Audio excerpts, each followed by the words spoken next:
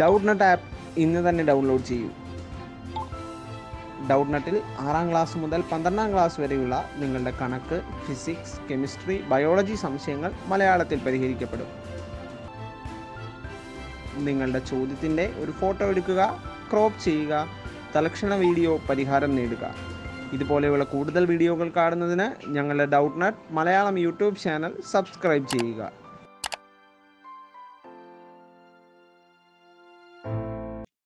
ഈ ക്വസ്റ്റ്യൻ നോക്കാം. The value of K such that the matrix one K minus K one ഈ symmetric if symmetric matrix ആവാനുള്ള condition എന്താ?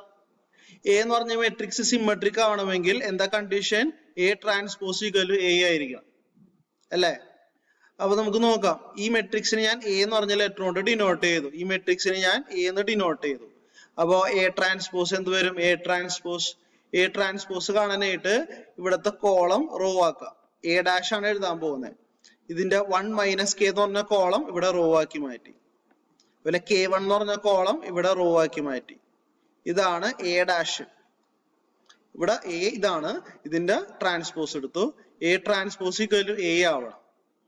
ഇത് A ആണ് അല്ലെ? One K minus K one അപ്പൊ സിമ്മെട്രിക് ആവണമെങ്കിൽ A dash equal to A ആയിരിക്കണം.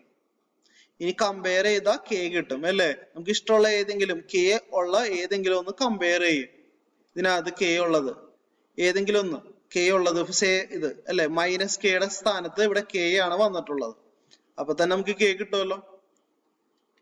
എല്ലാം സെയിം ആയിരിക്കും. ഞാൻ കെ ഉള്ള ഒരെണ്ണം കമ്പയർ ചെയ്യാം മൈനസ് കെ ഈക്വൽ കെ അപ്പോ ടു കെ ഈക്വൽ സീറോ ഈ മൈനസ് കെ പുറത്തെ സൈഡിലോട്ട് എടുക്കുമ്പോൾ ടു കെ ഈക്വൽ സീറോ അഥവാ കെ ഈക്വൽ സീറോ എന്ന് കിട്ടും.